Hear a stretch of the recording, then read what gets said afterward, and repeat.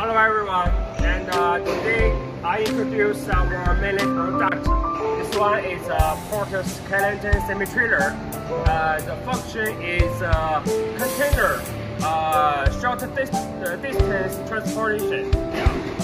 And uh, this here is a fixed steel block, and uh, uh, very strong, and uh, the thickness is uh, 14 mm and the material is Q345B, uh, the material. Okay, this way.